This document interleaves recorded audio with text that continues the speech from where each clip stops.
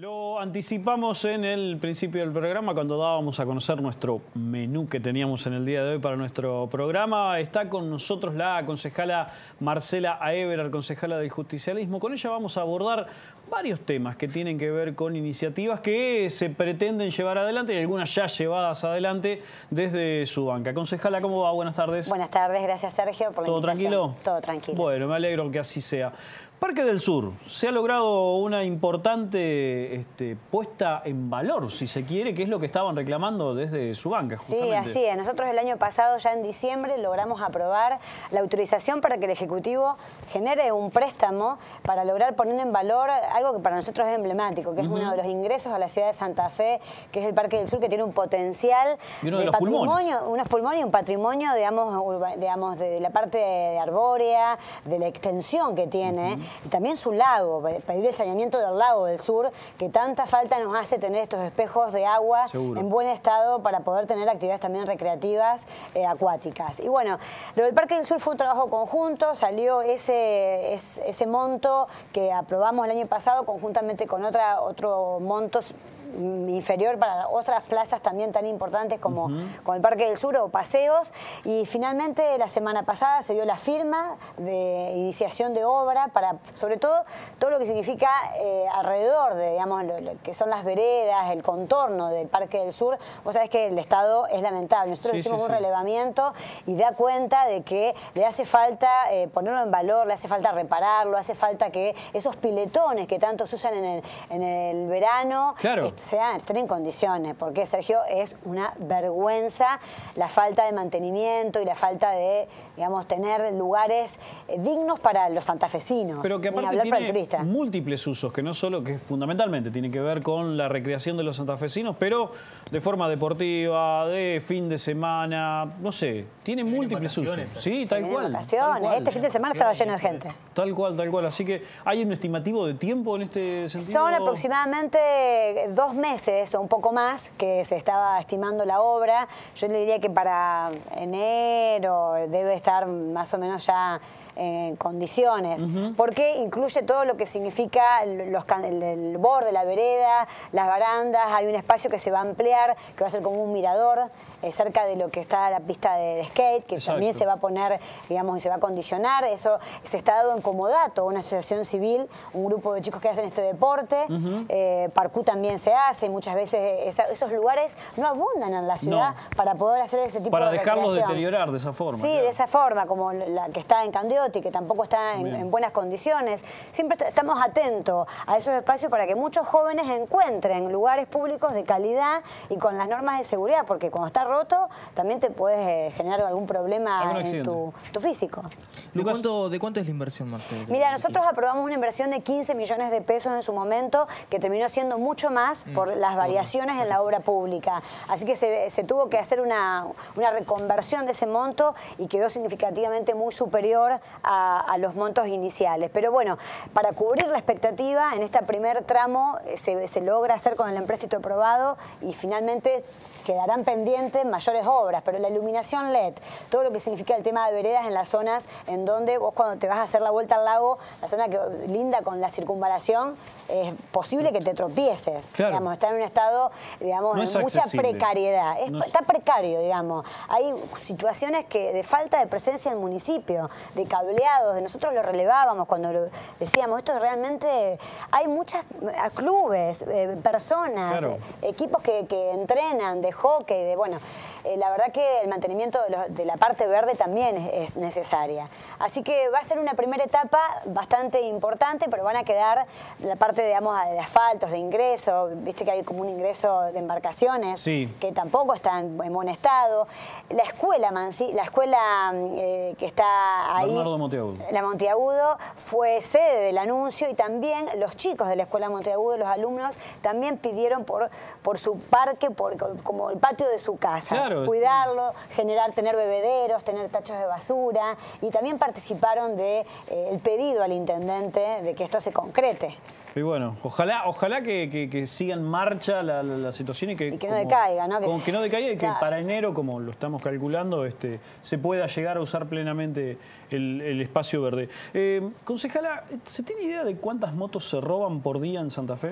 Mira, datos extraoficiales, datos oficiales te podría decir 5, 4. Nosotros hemos relevado por otras fuentes eh, que son muchas más, porque muchas a lo mejor tienen algún tipo de problema, no denuncian, eh, la dan por perdida porque saben que esto termina en un desarmadero rápido y que no hay forma de encontrar. Es preocupante lo que pasa con las motos en Santa Fe. Nosotros pedimos varias cosas. Pedimos las inspecciones a los desarmaderos, porque el desarmadero, el autopartista, no es una actividad ilícita, es una actividad ilícita. No, claramente. El tema es saber que el repuesto que te van a vender a vos tenga la normativa y esté registrado dentro de lo que y la hay forma de seguir eso. Sí, sí, hay una ley provincial, una ley nacional que tiene exigencias. Claramente el municipio debe tener mayores controles, porque uno después, digamos, de, de una evidencia de lo que pasa, son esos lugares donde se encuentran las partes de motos que no son eh, motos que vos las que hiciste desarmar y, venderlas, porque eso es, un trámite de, baja del auto o de la moto. En este caso estamos hablando de la moto. Nosotros pedimos eso, pedimos cámaras de seguridad en las 130 dársenas que hay en la ciudad de Santa Fe, que en forma progresiva se instalen, eh, porque también la evidencia de lo que pasó en las Eras y Boulevard el pasado 27 de septiembre da cuenta de la impunidad con la cual se da un robo a plena luz del día en vía pública eh, en poco tiempo. No sé si ustedes lo vieron ese video. Lo, hemos visto y justo se estaba pasando en lo que es la pantalla. Es uno de los hechos que también eh, se ha mostrado y se ha viralizado en las redes sociales. Eh, el robo de motos aquí en Santa Fe. No y comparto algo, Marcela. Dentro de esas, de, esas dársenas muchas veces también hay bicicletas sí. Que, que también sufren este tipo de hechos delictivos y que va acompañado. ¿Cuánta impunidad? Exacto. en plena luz del día. Eso se logró registrar por una cámara de un local que permitió dar con los delincuentes y ellos rápidamente ya están eh, con un proceso en curso. Eso no, no es una cámara eh, pública. Nosotros lo que instamos es que esto pasa en forma frecuente, tiene que haber eh, más control, pero el tema de bicicletas que me preguntas, viste que no están registradas. es más difícil a veces lograrlo y también es difícil, digamos, es más, más vulnerable la bicicleta. Eh, pero bueno, obviamente que hay que tener a todos nos gusta cuidar los bienes eh, de, cada persona. Lo de las motos es un dato revelador, es un dato que nosotros decimos, hay hasta 10 motos por día que se roban. Ahora, 130 eh, dársenas hay en la ciudad. Sí, nada más que 130 dársenas. Son pocas por la cantidad de motos. Mientras el sistema de transporte siga siendo tan problemático y sigamos teniendo problemas en la falta de recorrido, el ciudadano... La moto sigue siendo para el trabajador el medio de transporte más accesible. Con lo cual, vos tenés una sobrepoblación de motos que no lográs en una ciudad eh, que tenga conducta vial o mejor conducta vial coexistir, peatón, eh, automovilista, ciclista, eh, transporte de colectivo. Por eso la, cantidad de motos que hay es importante, porque muchas veces te dan facilidad de compra. También así también se roban con una facilidad importante que nosotros decimos, debemos pensar más en, la, por el parque automotor en motos que tenemos. Mm. Y creemos que cuando el municipio hace operativos, que el, servicio de la policía que está acompañando tenga el sistema Cóndor. Digamos, esto de saber si esa moto El sistema Cóndor es la base de datos más exhaustiva a la que pueda llegar a tener cualquier persona, obviamente trabajando en una fuerza de seguridad en este caso, está claro que... Lo hablábamos con el responsable del área de control del municipio, con el, señor Ramiro Dalaglio, quien manifestaba la importancia de que tener ese sistema cuando se hacen los controles de moto, para poder, obviamente... ¿Qué es lo que impide hoy que, se... No, es que solamente lo puedan usar las fuerzas policiales. Nosotros eh, insistíamos y propiciábamos un convenio para que cuando esté el operativo, más allá que esté o no el personal policial, o pueda ir o no, o, no, ese que esté no tenga esa tablet que tiene la información, tengan un código de acceso, el mismo municipio, para poder allanar y acercar el camino. Lo que nos han manifestado es que se han hecho muchas gestiones, pero que hoy por hoy lo que se puede hacer es que haya un efectivo policial que únicamente opere el sistema. No le han dado las claves ni el acceso al sistema a la seguridad de la, del municipio, digamos, a los controles municipales. Nosotros queremos achicar camino. ¿Qué queremos? Que el ciudadano salga en moto, salga en bici, esté seguro. Y que esté seguro. Esté seguro y, obviamente haya sanciones en caso de algún delito, que rápidamente lo, haya. Por eso estos sistemas, en donde uno tiene que hacer la denuncia, aparecen en el sistema Cóndor. Eh, la vuelvo a cambiar de tema, concejala. Hay una iniciativa de, su autoría que tiene que ver con precios cuidados, pero santafesinos específicamente. ¿A qué se debe? Pues sabes, Sergio, que el precio cuidados a nivel nacional lo encontrás en muy pocos lugares. Son dos cadenas nacionales. En algún súper, eh, las góndolas por ahí ya ni tiene el producto. En algunos casos vacías. Vacías. Eh, ¿Qué decimos? El precio cuidado viene eh, como una política nacional que acá lo local eh, puede ser mucho más, eh, más, concreto, puede realmente servir. Nosotros vemos que este precio cuidado nacional con, bombas y platillos se anuncia, pero que no logra atravesar la economía familiar y conseguir esos precios bajos. ¿Qué pedimos? Que haya un convenio con productores locales. Por la matriz en la parte alimenticia que tiene la, la, provincia de Santa Fe, pero claramente la ciudad. Tener convenios con productores que se inscriban a un programa de precios bajos Santa Fe y poder acceder a ellos como lo que pasa, por ejemplo, en Sociedad de Quinteros, que hace cuatro años tiene una feria los días sábados, de 8 a 13, en donde realmente encontrás precios bajos y de calidad, pero precios realmente bajos. no, no estamos hablando de... Porque hay ferias que no tienen precios bajos. Yo te digo, hay que recorrer, pero eso es un precio bajo. Tres kilos a 30 pesos, dos kilos de frutilla a 55, como el sábado pasado también estuve. Y la verdad que tanto tenés oferta de carne, de carne vacuna, de, pollo, de cerdo, eh, tenés una variedad. Mira, hoy justo un, nos contaba un señor que nos encontró el día sábado y nos acercó de lunes a domingo lo que él prepara con lo que compra mm. en, en, esta feria, que hay precios bajos. No te crucé, Marcela, el sábado. Fui yo también. ¿eh? ¿Fuiste? Sí, sí, sí. sí, eh, la verdad que se consigue la, precios naranja, de calidad. La naranja, chicos, 3 2 kilos. 80. Mira, esa es la, frutilla. Sí, ¿A qué hora fuiste, Marcela? Mira, yo estuve a las 10 menos algo de la mañana. 10 menos algo y la verdad... Dígame ya que Sí, la carne, mirá, la carne, eh, el pollo, ¿qué decimos? Traje quesos. Esto... Oh. Sí, yo también traje quesos, pasta. Todo esto eh, está al alcance de cualquier santafesino, obviamente, en Pero, ¿qué pasa, Sergio? Es un día en un lugar de la ciudad. Claro. Es solamente el sábado de 8 a 13 en Aristuro del Valle, Alfonsina Storni. ¿Qué pedimos? El programa municipal de precios bajos santafesinos insta a tener estos tipos de convenios con distintos, eh, a ver, puesteros, comerciantes o también y que sea más itinerante en la ciudad. Claro, y que haya en otro lugar de la ciudad.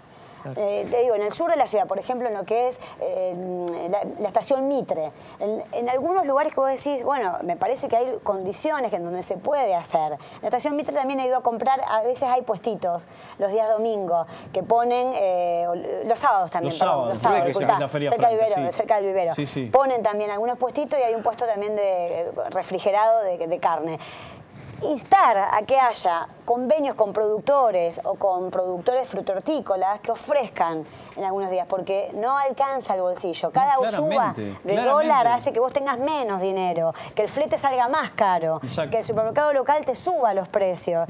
Y nosotros estamos preocupados por eso. En la localidad de Totoras eh, han hecho algo similar que es el precios cuidados también, pero en lo que tiene que ver en el ámbito de limpieza y comida. Ha dado buenos resultados también en lo que son los comerciantes, la gente reacciona de buena manera. Y claro. Eh, y es algo, es una iniciativa, Marcela, que, sirve. ¿A quién te has podido hablar con alguno de los comerciantes de Santa Fe?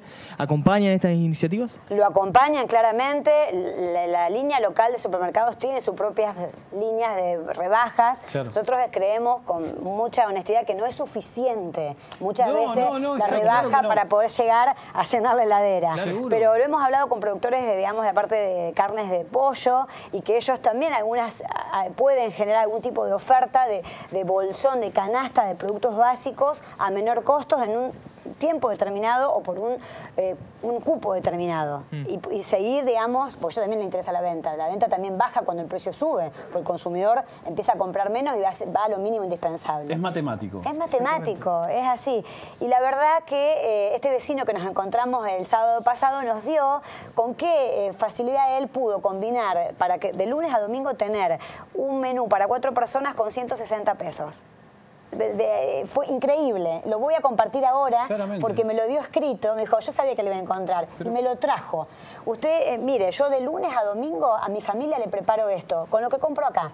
Miren lo que me sale. Yo lo, lo quiero compartir porque a lo mejor le disparo una idea para que otra familia, familia tipo, a lo mejor este, lo tome como, Pero claro que como sí. a ver, como una recomendación. Y ahora lo estábamos subiendo porque de mano alzada el señor, ¿eh? Con cálculo hasta la pizca de sal me, me ponderó Hacen económicamente. falta esas cabezas hoy. Claro, porque el ¿eh? señor es chef, el señor es cocinero, cocinero en, en gran escala, digamos, y esas, a veces esos, eh, uno no tiene todas las herramientas, No, como ama de casa, digo, uno claramente. no sabe cómo optimizar, está, o, o más o menos. No, optimiza hasta donde puede hasta llegar, donde puede. Bueno, punto. por eso te digo, estos son los espacios que el municipio creemos que se puede esforzar en lograr acompañar, ex- dando exenciones impositivas, Mm, facilitando el lugar. Esto es a beneficio del ciudadano, digamos. Nadie va a sentirse perjudicado, no va a cerrar un comercio porque propiciemos No. esto. Porque no lo estamos diciendo, es en esta coyuntura, No, no, en seguro, donde hoy tenés que tener más de 21 me- pesos por mes, 21 mil pesos para no caer bajo la línea de pobreza. Una familia tipo. Marcela, último tema que queríamos abordar tiene que ver con la cuestión deportiva. Este, hubo una semana convulsionada la semana pasada cuando se conoció la noticia de que podía llegar el clásico rosarino a jugarse en cancha de Colón en principio. ¿Fuiste una activa partícipe para que no, por lo menos no se llegue a esa instancia? ¿Qué- cuál, ¿Cuál es el balance que haces después de toda esa Sí, movida? el balance. Fue un tema polémico. Yo estoy convencida de lo que hice, convencida, y lo he hablado sobre todo con algunos medios rosarinos que no me trataron mm, muy amablemente. Eh, fue producto de no- unos tweets bastante... eh, a ver, te deja sin sabores cuando el otro no lo, no lo interpreta como vos lo querés dar a conocer. Yo soy de Santa Fe, soy santafesina, soy concejal de mi ciudad. Lo primero que me, de- me debía era defender los intereses de mi ciudad. Un clásico tan de alto voltaje como Central Newell, que hace ocho años que no se juega, en donde uno sí o sí iba a ganar, porque era definitorio. Claro. Una copa que yo entiendo el sentido de lo federal, pero que era clásicamente lo que decimos que se juegue en la ciudad donde es. Vamos a tener la ruta 11, la autopista, eh, a ver, paralizada, eh, teniendo cada 10 kilómetros algún tipo de, de inspección. Las estaciones de servicio que decían vamos a cerrar. La estación de servicio porque ha habido clásico, balas. es un Era un clásico. ¿Qué hicimos? Hicimos un proyecto de resolución pidiéndole al intendente que evitara que incidiera como, como jefe de la ciudad el no permitir que la cancha de Colón sea sede de esta... Y no es por estar en contra de los clásicos, es por estar a favor de mi ciudad. Eh, La hinchada que se iba a quedar hasta que la otra saliera y era la que perdía, ¿vos te imaginás cómo iba a estar el estadio de Colón? Digamos, esa fue mi inquietud. Y, y a lo mejor no desconociendo el reglamento, porque esa fue la principal. El reglamento dice que sea en cancha neutral, afuera. Bueno, a ver, en Tucumán hubo un antecedente hace un tiempo. ¿Qué apelábamos? A que haya una excepción. Que no se juegue en la ciudad de Santa Fe, que realmente el frentista, el vecino del barrio sur, del centenario, padece.